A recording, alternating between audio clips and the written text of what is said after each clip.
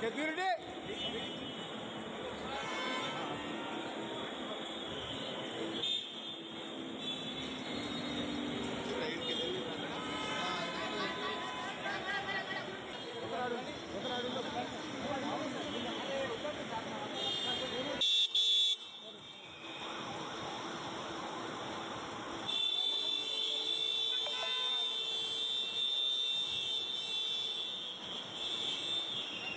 চলো চলো সাইড হয়ে গাড়ি আগে।